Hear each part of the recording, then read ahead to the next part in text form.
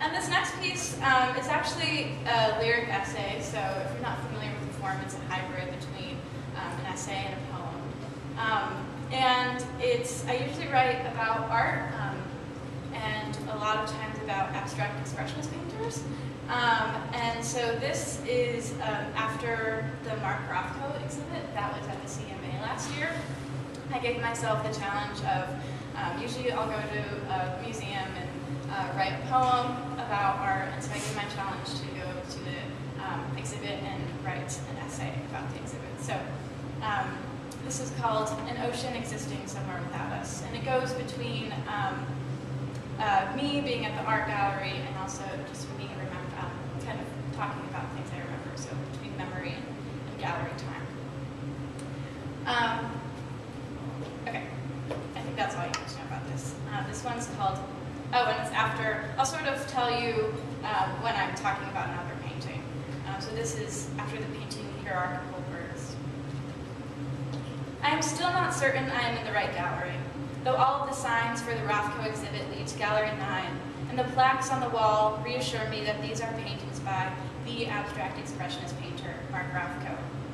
But this is not how I know Rothko.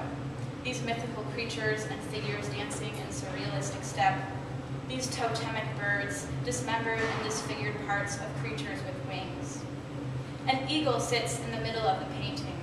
His golden body is barrel his golden body is barrel-chested and plucked like a Thanksgiving turkey. His feathers float above him like a cape trying to find its body. Above the eagle, a butterfly and a dragonfly float in reverence to a swirling sun. From the plaque, I learned that this trio, the eagle, the butterfly, the dragonfly, represents what remained consistent in Rothko's work, sets of threes. What I do recognize of his work is the landscape behind the mythical creatures, the three, the three horizontal panels of color, lilac, sand, and sea foam. I imagine the figures of the creatures losing definition, losing shape, until they fade into the background, becoming what I love of Rothko's work, his resistance to particular form and figure. At seven years old, I, couldn't, I could feel things changing, but I could not picture them. There was not enough archived in my mental Rolodex of images to fathom what moving to the west would be like. To me, everything west of Chicago was a snowy blur on a TV set. And I believe the closer we got to Colorado, the clearer the picture would get. When my parents, when my parents, sorry, I don't know, that's why just came out. Um, when my parents told me we were going to live in the Rocky Mountains, I imagined we were going to live in a cave carved out of the hillside that my new life would take place in an underground lair. I remember driving to the mouth of Coal Creek Canyon for the first of what would be thousands of times, and watching the landscape change from flatlands to foothills. It was the only time I entered anticipating seeing people emerging from the ground.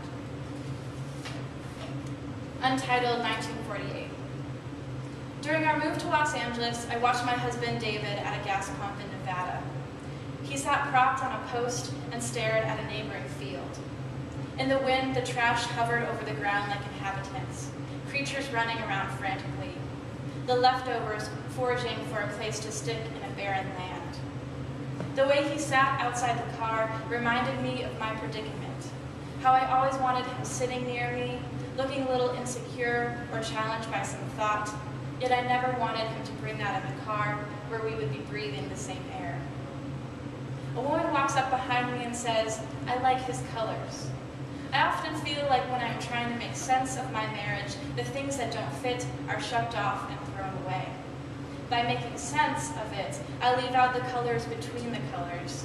Blue becomes only a color for the iris, the sky, his raw denim jeans. Blue is resolved in the form of an object. Blue has a line which it cannot cross. Blue even has an emotion, a cliche in which it cannot escape. We cannot see the three figures of landscape in this painting. Rothko turns us onto our bellies and gives us the eagle's aerial view. Here, blue is breaking the painting the way bodies of water break earth. It interrupts any sort of warmth we feel from blood orange, wheat, salmon, and chocolate to remind us that we cannot only feel one thing at a time. A painting cannot only make us happy or sad or bored. it must also, also make us something else, something its opposite, something completely different, something of another time, another map altogether. Number 18, 1948. Custard and eggshell smeared down the side of the canvas first, before it can be a splotch. We must, sorry, we have to be wet paint, already dry, before we can be a splotch. As a splotch, part of us gets taken away. When I left Chicago, I left behind my best friend and cousin Danielle.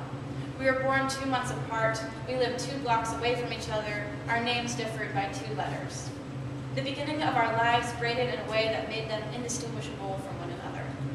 Over the years, I would discover how hard my move was for her. It was never very hard for me, maybe because I was going somewhere new or because I was the one getting a second chance. I enjoyed, or when I settled in Colorado, I, I appreciated my refuge, my sheltered mountain life. I enjoyed that the trouble we encouraged in each other was reserved for vacations. On my visits to Illinois, we would sneak out and take the train into the city. She would visit me and we would drive through the mountains, smoking cigarettes and listening to Fiona Apple on repeat. I want to make a mistake. I want to do it on purpose. The first time she met David, the three of us went to Stanley Lake Reservoir to walk around the mud flats.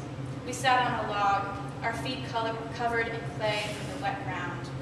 I watched the brown consume us as I felt the pressure to reconcile my two lives. I felt both places at once, the Midwest and the West. It became a hazy frame around my sense of belonging. Here we have color surrounding an empty space, but it is only an empty space because it is not color, or perhaps a color I cannot describe as colorful, because it is mauve, or some other color I distrust, knowing I might not be able to make it again.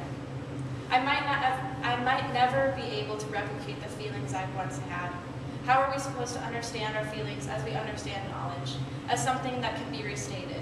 And even if we can come so close to the same color, the original is always changed by light, by oxygen, by the oil in our skin. Sacrificial Moment, 1945. This painting is what it feels like to be in a conch shell. I, you can feel the mechanism making the music of the ocean. Pins so small, the lamel don't recognize them as individual notes. Instead, it plays the sound of a tide swelling and receding at the same time.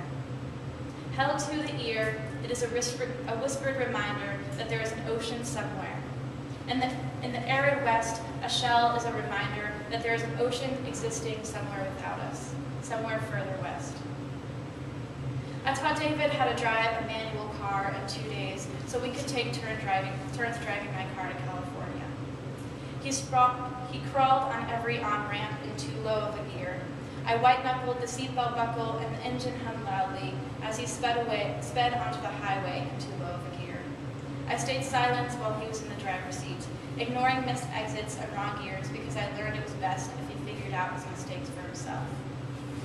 He had researched a place to stop in Kingman, Arizona, an old hotel that had been restored by an artist couple.